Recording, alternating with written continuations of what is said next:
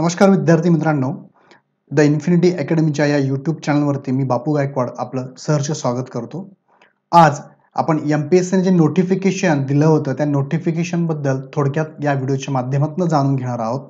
हे notification आलं होतं अकरा ऑगस्ट दोन हजार एकवीस रोजी.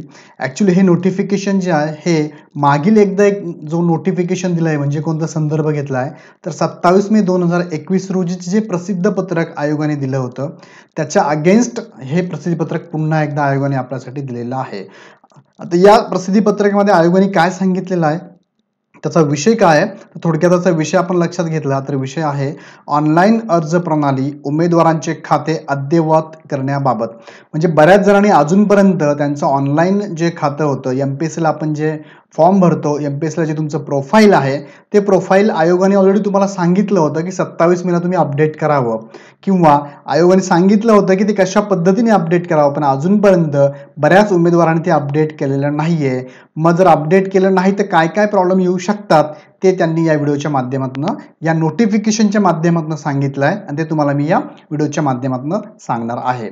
तत्पूर्वी ज्या विद्यार्थ्यांनी द इन्फिनिटी अकॅडमीचं चॅनल सबस्क्राईब केलं असेल तर सबस्क्राईब करा लाईक करा शेअर करा आणि कमेंट करायला विसरू नका.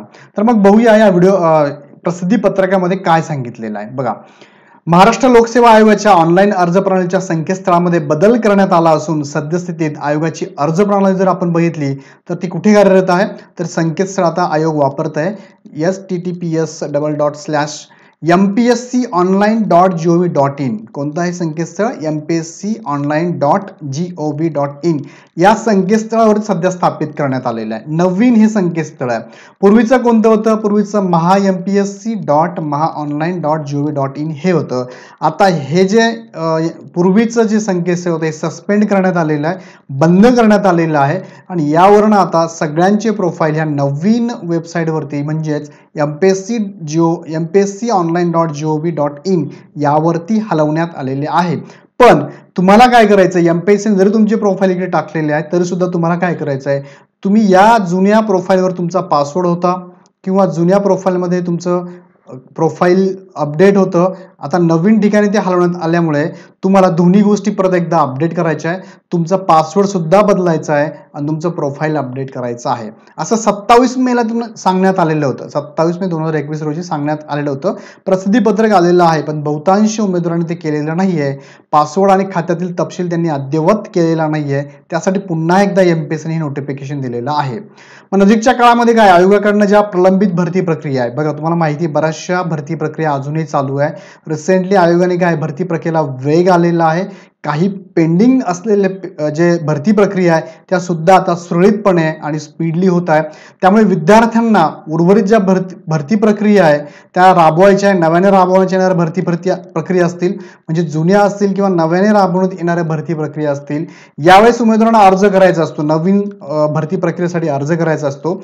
जुन्या भरती प्रक्रिया ज्या प्रलंबित आहे, त्यासाठी त्यांना काय करायचं आहे? एकतर त्यांना प्रोफाईल अपडेट करायचं असेल किंवा दुसरं बघूया आपण त्यांना एखाद्या इंटरव्ह्यूला जायचं असेल तर इंटरव्ह्यूचं तुम्हाला लेटर घ्यायचं असेल किंवा तुम्हाला एखाद्या एक्झामसाठीचं मेनसाठीचे एखादी तुम्ही परीक्षेला क्वालिफाईड झाला तर तुमचं प्रोफाईल पुन्हा अपडेट करायचं असेल तर हे सगळं हॉल तिकीट काढायचं असेल तर तुम्हाला तुमचं प्रोफाईल अपडेट करणं गरजेचं आहे. तुमचं प्रोफाईल जर अपडेट नसेल तर तुम्ही अर्जही करू शकत नाही आणि तुम्ही तुमच्या प्रोफाईल अपडेट करू शकत नाही.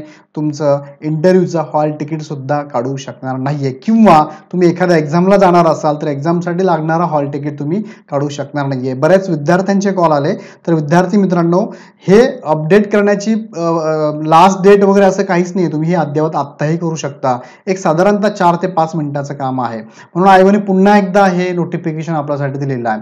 मग ते कसं करायचं आहे ते परत जी प्रोसेस आहे ऑनलाईन ती अशी आहे.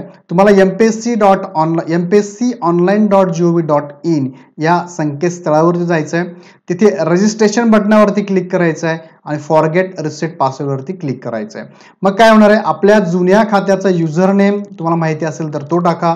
ईमेल आय डी असेल तो टाका. किंवा ज्या मोबाईलने तुम्ही नोंदणी केलेली आहे तो नोंदणीकृत मोबाईल नंबर टाका.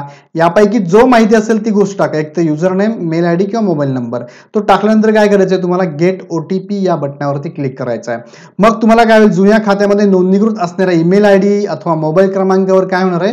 तुम्हाला ओ टी पी मिळणार आहे. तो ओ टी पी तुम्हाला टाकायचा आहे आणि पुन्हा एकदा काय करायचं आहे व्हेरीफाय बटनावरती क्लिक करायचं आहे चौथी प्रोसेस काय? नमूद केलेला आपला जन्मदिनांक. जो जन्मदिनांक तुम्ही टाकलेला तो जन्मदिनांक टाकायचा आहे सबमिट बटनावरती क्लिक करायचा आहे त्यानंतर आपल्या आठ ते पंधरा वर्णांचा पासवर्ड प्रविष्ट करा, ज्यामध्ये काय एक कॅपिटल लेटर असेल एक स्मॉल लेटर असेल, एक स्पेशल कॅरेक्टर असेल आणि एक अंक असेल. असं तो एक साधारणतः आठ पासून ते पंधरापर्यंत अक्षरांचा हा पासवर्ड असणं गरजेचं आहे. उपलब्ध होणाऱ्या सहा सुरक्षा प्रश्नांची उत्तरे नमूद करून रिसेट बटनावरती क्लिक करा. सहा प्रश्न तुम्हाला विचारण्यात आले. साधी सिंपल प्रश्न आहे. त्याची अचूक उत्तर द्यायची आणि रिसेट बटनावरती क्लिक करायचं आहे आणि शेवटचा आहे. पासवर्ड बदलल्यानंतर सध्याची युजर नेम कार्यान्वित राहणार नाही. हा मुद्दा लक्षात घ्या. आता सध्या तुमचं जे युजर आय डी असेल ना, तुमचं जुन्या मेल आय डीवर जुन्या एम पी सीच्या प्रोफाईलमध्ये तोच युजर आय डी आता राहणार नाहीये. तर नवीन काय असणार आहे मग? नवीन अर्ज़ प्रणालीद्वारे नोंदणीकृत ईमेल आय डी अथवा मोबाईल नंबर मग काय असलेला ऑप्शन काय दिला दोन गोष्टी. एक तर तुमचा ईमेल असेल ईमेल आय डी असा तुमचा युझरनेम असेल किंवा तुमचा मोबाईल नंबर कोणता आहे? दोघांपैकी कोणताही तुम्ही युजर नेम म्हणून वापरू शकतात. तो वापरूनच तुम्हाला लॉग इन करता येणार आहे. आता ही झाली तुमची लॉग इन करण्या प्रोफाईल अपडेट करण्यासंदर्भातली माहिती. आणि तर आणि तरच तुम्ही काय करू शकता मग? पुढील एखाद्या भरती प्रक्रियेचा अर्ज भरू शकतात किंवा तरच तुम्ही एखाद्या एक्झामसाठीचं हॉल तिकीट तुम्ही इथून डाउनलोड करू शकतात. अन्यथा तुम्हाला हे करता नाही. त्यामुळे जे विद्यार्थी इंटरव्ह्यूला पात्र बरेच कॉल आले. त्या विद्यार्थ्यांसाठी किंवा जे विद्यार्थी नवीन फॉर्म भरणार असतील, त्यांच्यासाठी किंवा जे विद्यार्थी एखाद्या एक्झामच्या मेन्सला गेले असेल किंवा एखाद्या एक्झामची प्री देणार असाल, जसं की आता कंबाईनची प्री आहे. कंबाईनची प्रीचं हॉल तिकीट तुम्हाला काढायचं आहे. तर या सगळ्या एक्झामच्या बाबतीत तत्सम डॉक्युमेंट तुम्हाला जर काढायचे असतील, तर तुम्हाला प्रोफाईल अपडेट करणं गरजेचं आहे. आणि प्रोफाईल अपडेट करण्यासाठीची अशी लिमिटेड डेट नाही आहे तुम्ही लवकरात लवकर करणं अपेक्षित आहे जेणेकरून अचानक तुम्हाला ह्या सगळ्या गोष्टी अपडेट करायचं म्हटलं तर तिथे अडचण निर्माण होऊ शकते म्हणून तुम्हाला लवकर ते करायचं आहे बघा आयोगाने सांगितलंय अर्ज प्रणालीद्वारे अद्य अद्य खाते अद्ययावत करताना कोणत्याही प्रकारची तांत्रिक अडचण जर आली तर हा टोल फ्री नंबर आहे. बऱ्याच वेळा हा उचलला जात नाही पण प्रयत्न करत राहा उचलला जाईल. या टोल फ्री क्रमांकावर अथवा support dash online at M P S C dot G O dot in यावरती तुम्हाला ईमेल करायचा आहे. खाते अद्ययावत करण्याच्या कार्यवाही करता कोणतीही कालमर्यादा नाही आहे तथापि विविध काल, कार्य कालमर्यादेत करावयाच्या बाबींकरता उदाहरणार्थ बघा, मी तुम्हाला आत्ता सांगितलं, परीक्षेचे प्रवेश प्रमाणपत्र प्राप्त करून घेणे असेल किंवा अर्ज़ करणे, हे तुम्हाला लगेच करता नाही. नवीन जोपर्यंत तुम्ही प्रोफाईल अपडेट करत नाही, तोपर्यंत शक्य होणार नाही. आणि तुमची होऊ शकते. म्हणून आयोगाने ही नोटिफिकेशन तुम्हाला दिलेलं आहे. त्यामुळे मुलांनो, ज्यांना ज्यांना अजूनही अडचणी असतील, त्यांनी मला कमेंट करू शकता किंवा मला कॉन्टॅक्ट करू शकता. तुम्हाला या संदर्भात काही अडचणी असतील तर नक्कीच माझ्याकडून मी मदत करेल. द इन्फिनिटी अकॅडमीच्या ज्या शाखा आहेत पुणे, नाशिक, औरंगाबाद, नास, नागपूर, या ठिकाणी सुद्धा तुम्ही व्हिजिट करू शकता.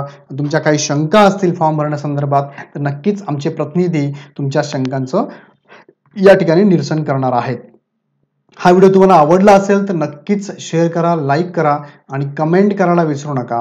तुमच्या कमेंटच पुढील व्हिडिओ बनण्यासाठी आम्हाला प्रोत्साहन देत असतात आणि या चॅनलला सबस्क्राईब करायला मात्र विसरू नका. तुम्हाला याबद्दल या द इन्फिनिट अकॅडमीच्या कोर्सेसबद्दल म्हणजेच इथे कोर्सेस चालतात, P S I, S T S O कंबाईनची batch आहे, त्याचबरोबर एम पी एस सी राज्यसेवेची बॅच आहे, त्याचबरोबर यू पी एस सीची बॅच आहे, आणि त्याचबरोबर महाराष्ट्र इंजिनिअरिंग सर्व्हिसेसच्या बॅचेस द इन्फिनिट अकॅडमीच्या या सेंटरमध्ये चालवल्या जातात. नाशिकसाठी ह्या दोन्ही बॅचेस ऑफलाईन स्वरूपात चालू झालेल्या आहे आणि एम पी एस सीची ऑफलाईन बॅच चालू झालेली आहे. या संदर्भात अधिक माहिती पाहिजे असेल तर या नंबरला तुम्ही कॉन्टॅक्ट करू शकता. ओके? Thank you.